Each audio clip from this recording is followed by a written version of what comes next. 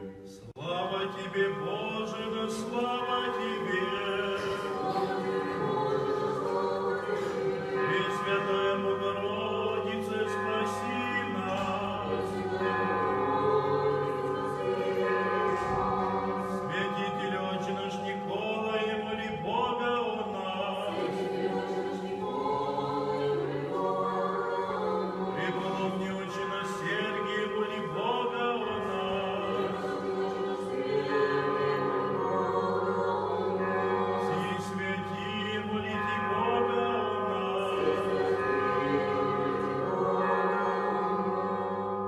Во имя Отца и Сына и Святого Духа.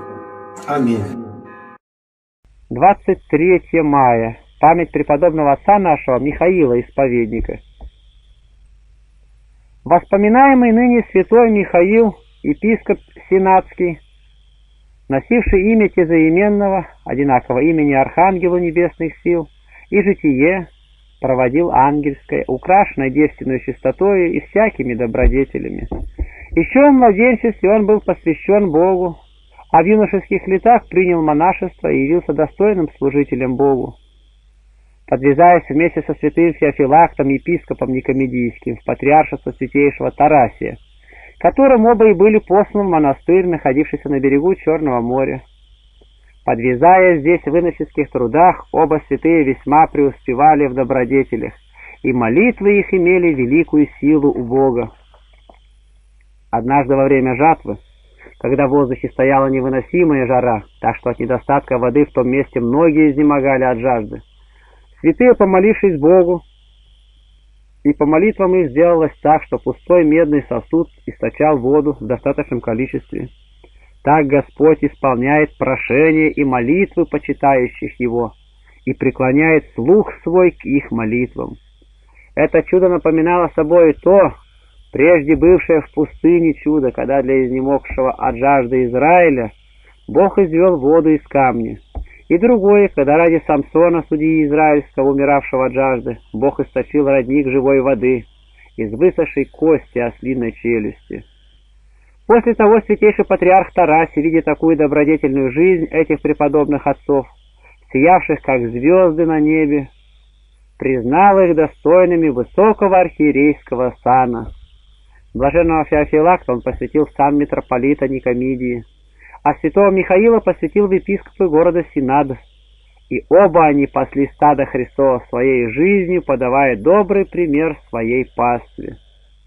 Когда же отошел от здешней жизни ко Господу святейший патриарх Тарасий, а после него принял престол Константинопольской церкви святой Никифор, снова поднялась буря ереси иконоборческой, которая уже была осуждена на Седьмом Вселенском соборе святых отец. Нечестивый император Лев Армянин, заразившись той ересью, поднял гонение на церковь Христову, отрицая почитание святых икон и называя их идолами, поклоняющихся же им, подвергая мучениям и смерти.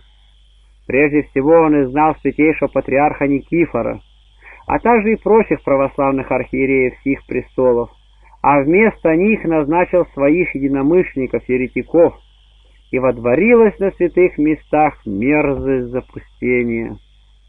В это время святой Михаил явил себя ревностным защитником православия и обличителем еретического нечестия. Укрепляемый и умудряемый благодатью Святого Духа, он противоборствовал еретикам и заграждал уста их, порицавших святые иконы. Нечестивый царь Лев, не вынося обличения святого, дерзновенно порицавшего его еретическое заблуждение, предал святителя Христова на мучение. Святой же, не страшась мучений, мужественно отстаивал свои убеждения и сказал императору, «Я почитаю святые иконы Спасителя моего Иисуса Христа и Пречистой Девы и Его Матери, и прочих святых, и поклоняюсь им.